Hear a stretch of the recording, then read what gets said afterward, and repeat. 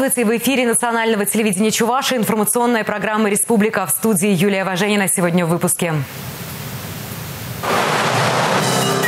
Никто, кроме них, сегодня по всей стране отмечают День воздушно-десантных войск.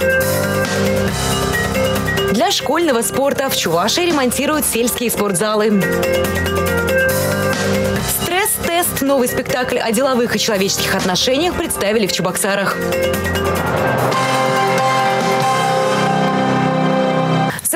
Воздушно-десантные войска отмечают 89-ю годовщину со дня образования. В Чебоксарах прошли показательные выступления спортсменов-парашютистов. Десантники возложили цветы к вечному огню, прошлись крестным ходом от Парка Победы до площади Речников. А там для голубых беретов начался праздничный концерт. Алексей Чернов служил в Краснодарском крае, а сейчас работает в мебельном производстве. Сегодня он отпросился с работы, чтобы встретиться с друзьями и снова поделиться армейскими воспоминаниями. Ну, первый прыжок был не такой страшный. Вот второй уже, когда понимаешь уже, уже страшновато становится. Ну ничего, никто не струсил. Прыгали все.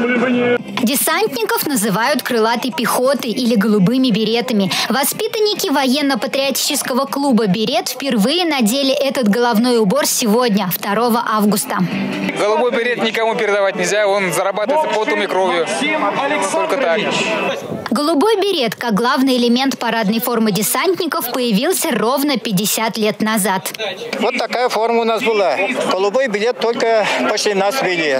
Нас бросали зимой, э, снегу вот так было. Там противогаз, э, автомат на себя, парашют. И сборный был, э, пункт надо было. А я легкий. Меня, я летал дальше и дальше. Маргелов, Вася, руку пожал мне, как маленького, самого маленького десантника. Герой Советского Союза Василий Маргелов был первым командующим воздушно-десантными войсками. Это в его честь ВДВ шуточно расшифровывают войска дяди Васи. У десантников вообще много фирменных выражений. Десантник – три секунды ангел, три минуты орел, а все остальное время ломовая лошадь. Этот афоризм рассказывает об этапах прыжка с парашютом и подготовке к нему.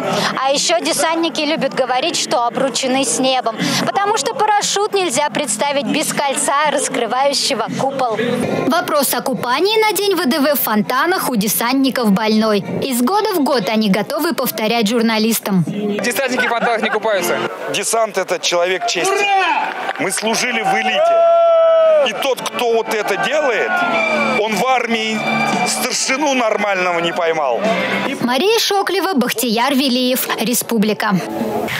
Сотрудники прокуратуры республики сегодня отметили 97-летие со дня образования ведомства.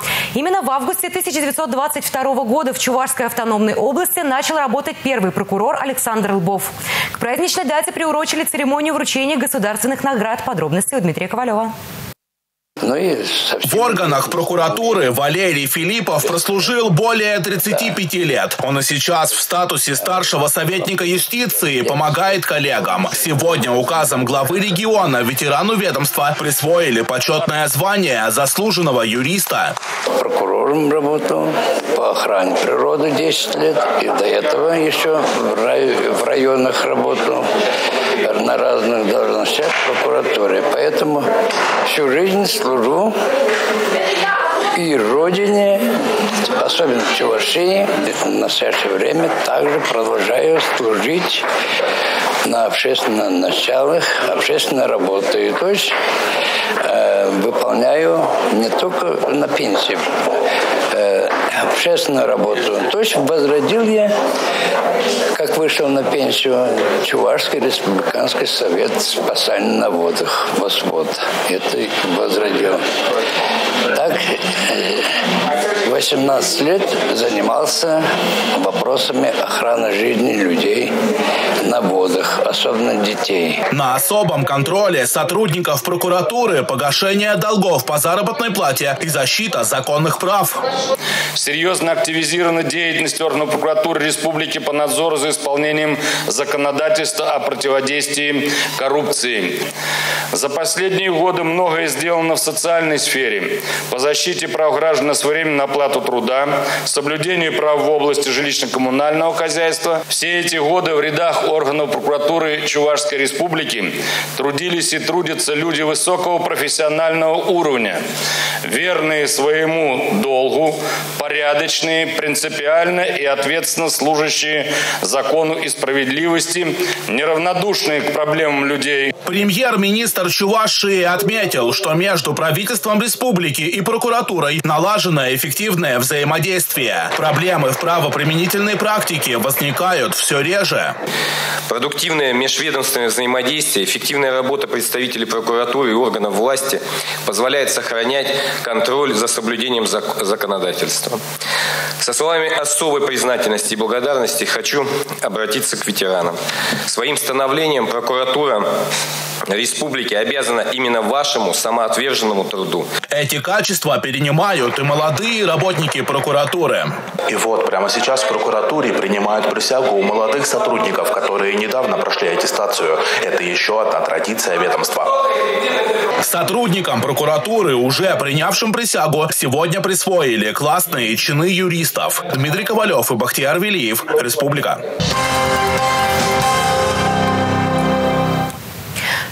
Козловке продолжают модернизировать систему теплоснабжения. Сейчас в муниципалитете возводят современные блочно-модульные котельные. Ход работ проинспектировал премьер-министр республики. Там же на совещании с активом подвели итоги социально-экономического развития и расставили приоритеты перед властями. Большинство котельных города Козловка были возведены в начале 70-х годов. Из-за их износа потери теплоэнергии зимой достигали 30%. После модернизации сетей будет налажена бесперебойная подача горячей воды. По прогнозам администрации района, экономия бюджета превысит 10 миллионов рублей. Ведь сложности есть? Да я не вижу здесь рабочий процесс, да? То есть, в принципе, МУП э, в этот отопительный сезон не будет заходить уже? С этими котельными нет. Первый, четвертый, с другими он будет заходить, те, которые мы пока не заменили.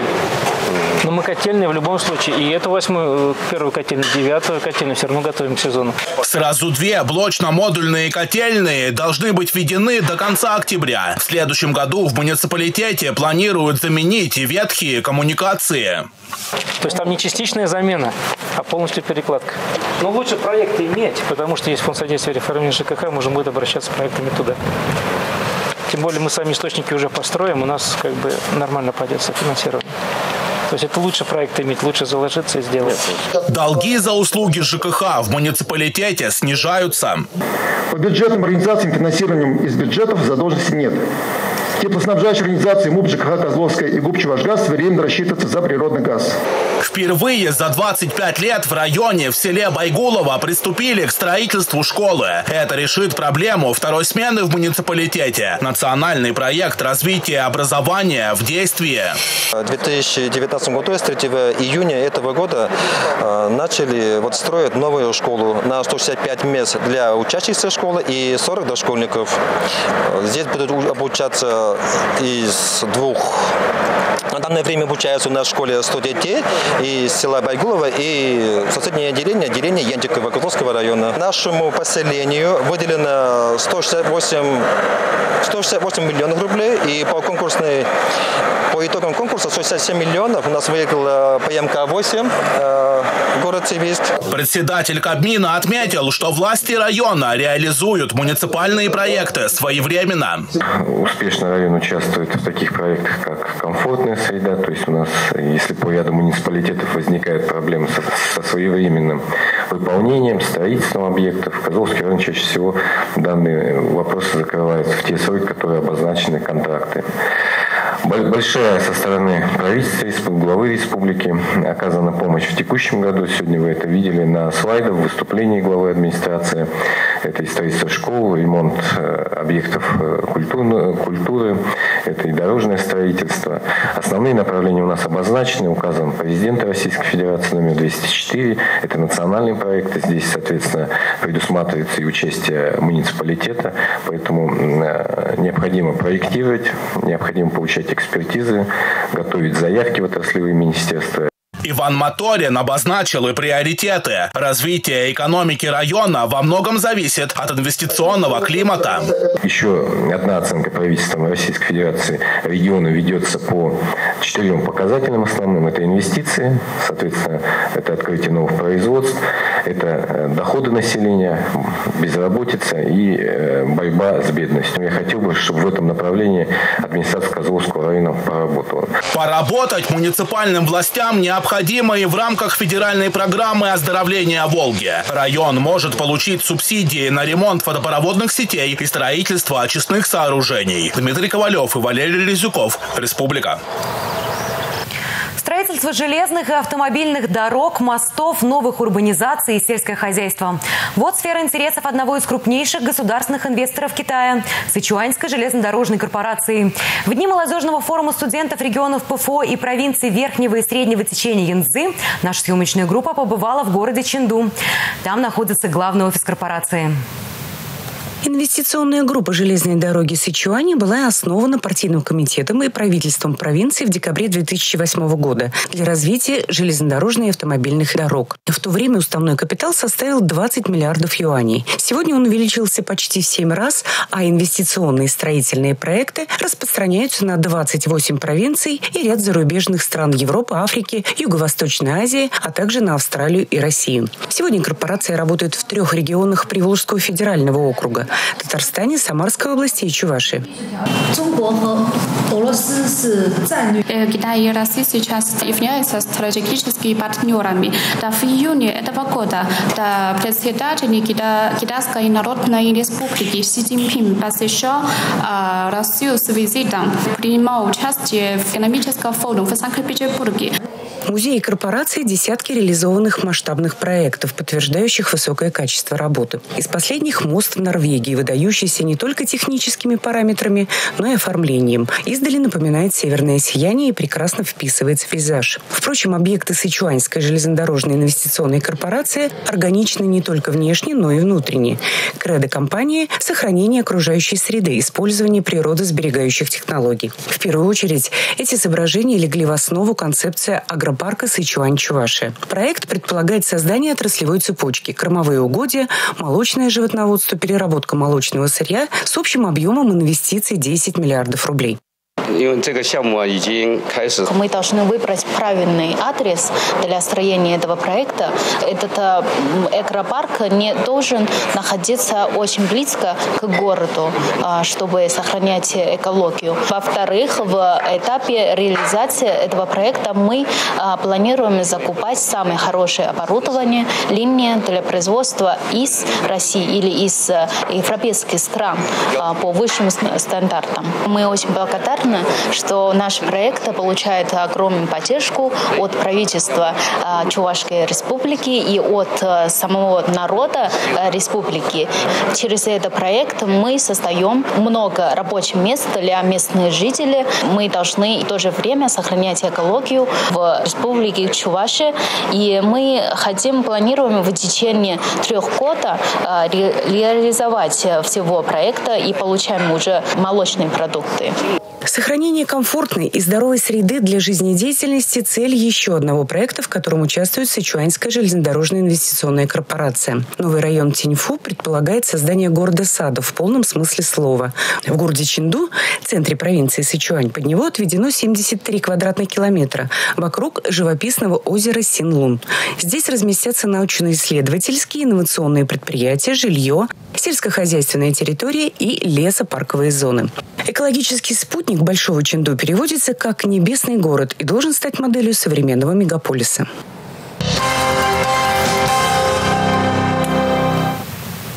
Учиться, чтобы побеждать выпускники-дизайнеры Чебоксарского художественного училища стали призерами и победителями Всероссийского конкурса профессионального мастерства в области культуры и искусства. За процессом творчества наблюдали мои коллеги. Смельчак идет, смеется, ни разу не споткнется. Нельзя ему споткнуться под куполом канат. Он может по канату пройтись, как по Арбату, пройтись и повернуться, и пробежать назад.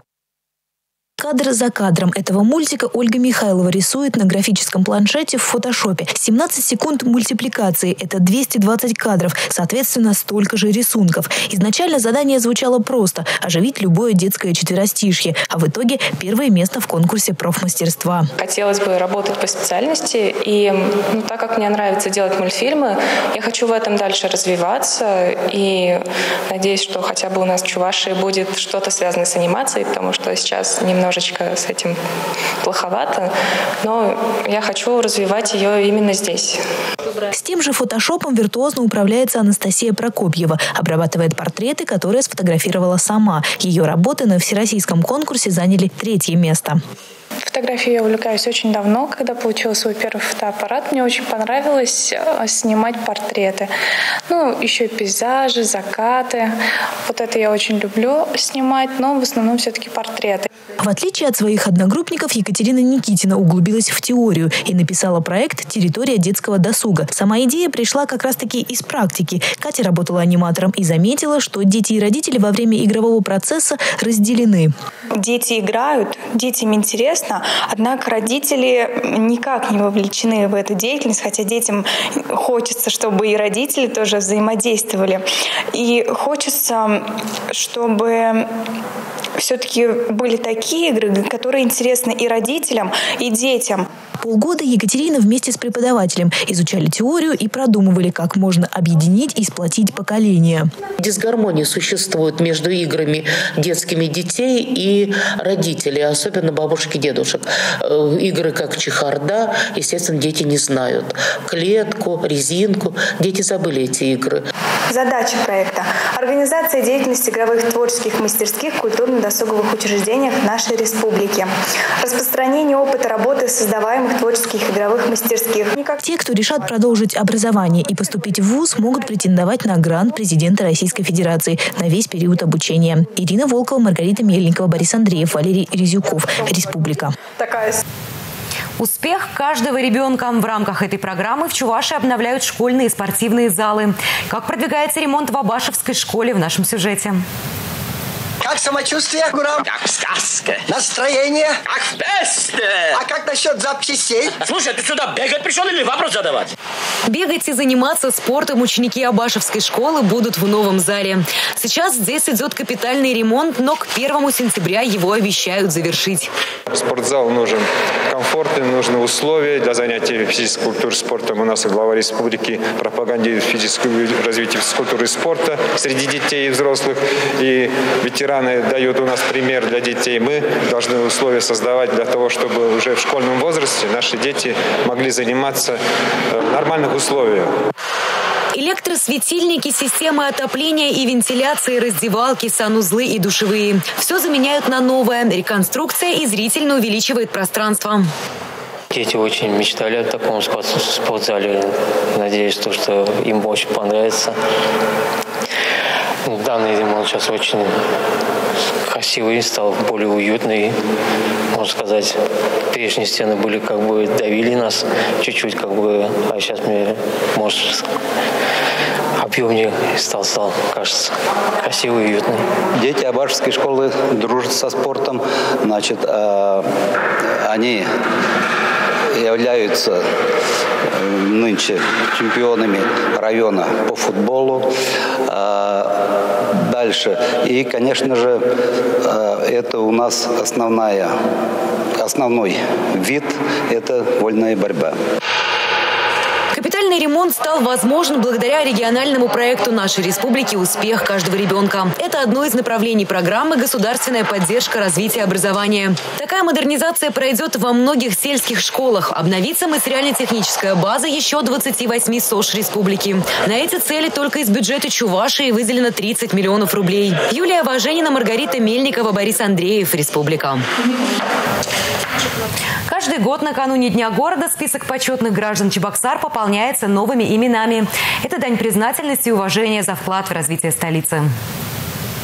Бескорыстное служение народу, безупречная трудовая деятельность, активная гражданская позиция – вот главные критерии вклада. В этом списке уже несколько десятков человек. В этом году на почетное звание претендуют шесть горожан. Это руководитель национального ансамбля «Уяв» Зинаида Козлова, мастер спорта СССР международного класса по боксу Валерий Львов, заведующий эндокринологическим отделением РКБ номер один Игорь Мадянов, заслуженный строитель России Игорь Рощин, исполнительный директор завода имени Чапаева Михаил Резников и заслуженный энергетик Чувашии Владимир Щедрин. Голосование проходит на портале «Открытый город» до 5 августа.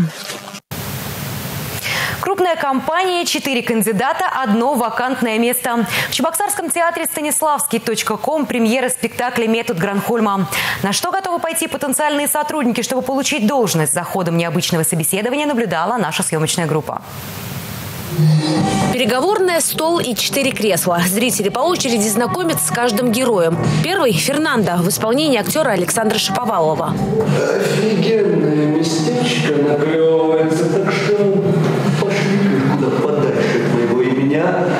Хватит перед ними расстилаться. Все, точка. Герой рассказывает о должности коммерческого директора. Как позже выясняется, он не единственный кандидат на собеседование. Они вам что-нибудь объяснили? Ну, ничего. Чудно все это, правда? Да. Нетрадиционная методика. Вскоре к ним присоединяются еще два соискателя. И тут начинается самое интересное. Голос в динамике сообщает, что среди них подсадной человек, сотрудник компании. И его надо вычислить. Надо признать, задачка-то с подковыркой. Нужно не только распознать, кто тут прикидывается, но еще и остальных запутать. Обычное собеседование превращается в бесчеловечную игру. Чтобы занять вакантную должность, нужно выполнить абсурдные задания, расправиться с конкурентами и забыть про основные человеческие ценности. Тореро, сомбреро, кабарьеро, карьера,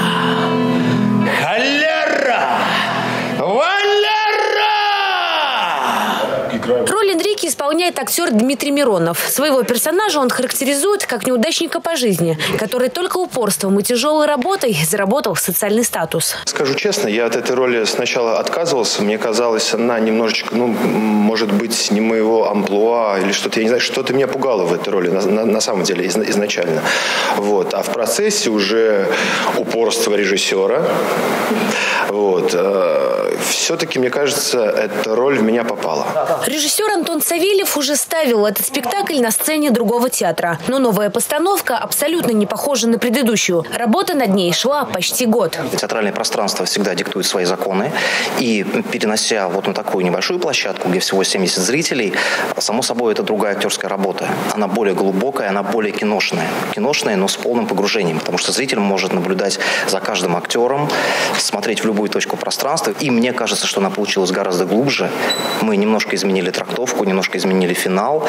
Так что я бы сказал, что это другой спектакль.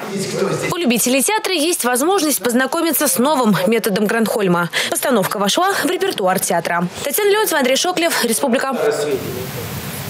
Буквально несколько минут назад в Национальной библиотеке завершился концерт памяти известного чувашского композитора Анисима Асламаса. В этом году ему исполнилось бы 95 лет.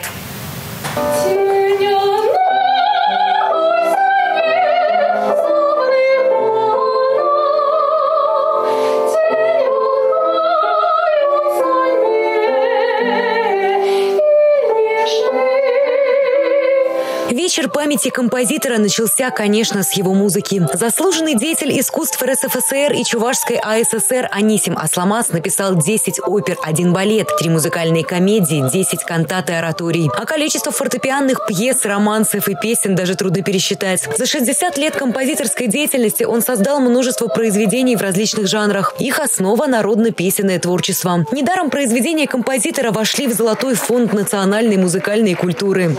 К памятному дню подготовлено электронное издание «Музыка Анисима Асламаса». В этом году исполнилось бы 60 лет и сыну известного композитора, дирижеру, пианисту, профессору Брненской консерватории Алексею Асламасу-старшему. На творческий вечер приехали их родные и близкие. Сейчас они живут в Чехии, и их жизнь тоже связана с музыкой. Инна Асламас – заведующая фортепианным отделением Брненской консерватории. Алексей Асламас-младший работает в одном из известных чешских квартетов. Антон – концертмейстер Пражской консерватории. Много хороших слов сказано о музыкальной династии. И, конечно, весь вечер звучали инструментальные и вокальные сочинения. Это все новости на сегодня. Я прощаюсь с вами. Хороших вам выходных.